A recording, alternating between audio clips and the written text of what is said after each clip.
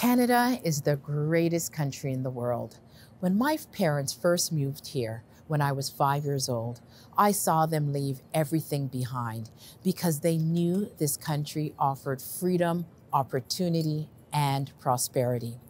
I want to make sure that the next generation has the same opportunities that I had growing up in this great country. I knew that I couldn't stand on the sidelines and watch our country be torn apart by division, erosion of our charter, and skyrocketing debt.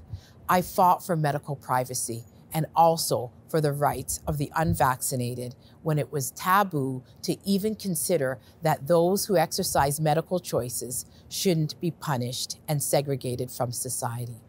I'm not a career politician. I've had a successful career outside of politics.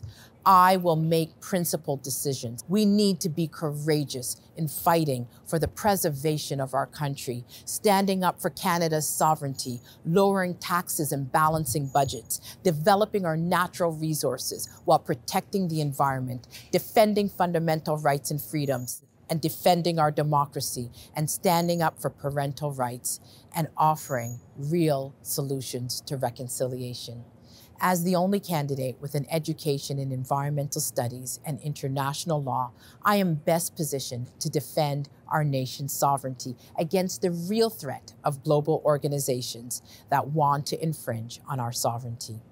I will always be the voice that is dedicated to you, the Canadian people, and I will never put my career advancement above defending your rights.